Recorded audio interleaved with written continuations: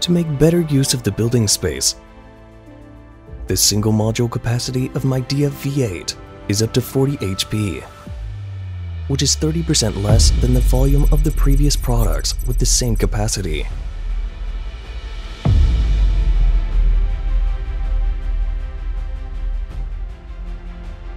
Moreover, Midea innovative combinable side discharge V8S can reduce the footprint by up to 50%, perfectly solving the insufficient space problem for VRF outdoor units on the same floor and making more flexible installation.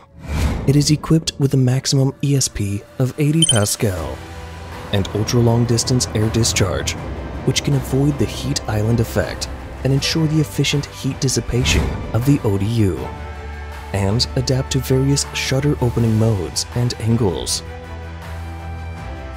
The Midea V8S can easily enter the elevator with packaging without crane installation, reducing installation costs.